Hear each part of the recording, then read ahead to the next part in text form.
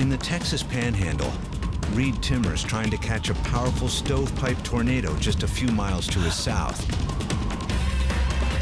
You see it way out there?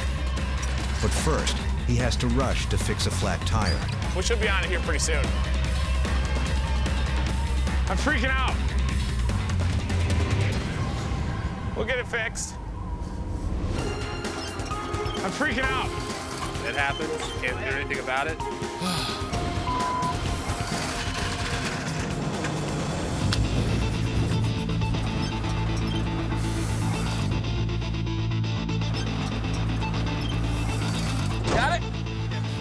We gotta go. We gotta go now. All right, let's just haul out of here. Wow. That did have a tornado on it. How does it look? Um, no different. Oh, wait, look at the recent radar. You think this thing has a chance still? This tire stopped us for so long. My optimism has uh, decreased dramatically. I mean, It's not something's missing today. huh? I think something. Not yet, Joel. Things can change. Remember, Yeah, we're probably gonna lose light anyway. Joel, please just stay positive. We got plenty of time. I'm not being negative. I'll grab the wheel. You can take a look at it. I gotta see it. Are you okay?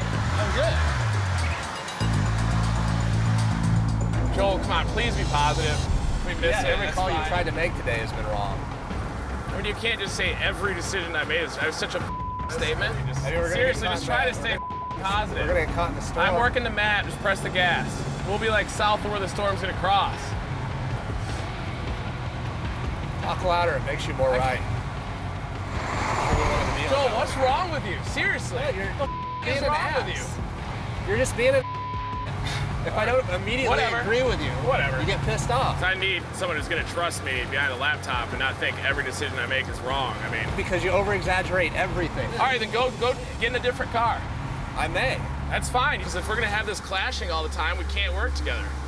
Seriously. If there's lack of trust, and I can't work with you.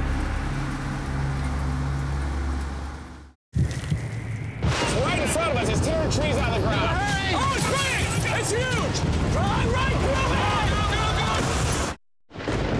Chasers, Sundays at 10. It's all new on Discovery.